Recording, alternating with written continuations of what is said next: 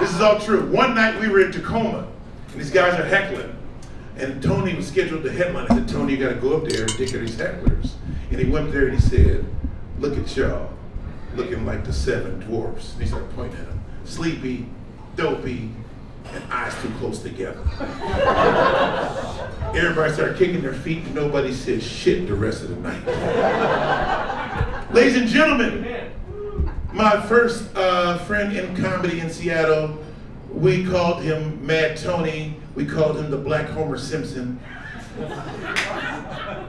Don't laugh too hard, he's gonna see that. Ladies and gentlemen, please welcome Mr. Tony Daniel.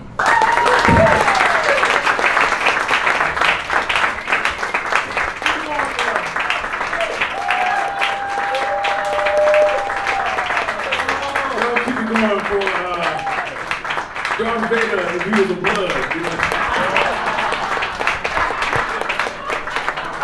What kind of outfit is this? What, what kind of what kind of sexual role play? Little, little black red Riding Hood and shit. I'm gonna look like a crunchy ass Air Jordan from the 80s. Uh, one more time for Travis Simmons, my good friend.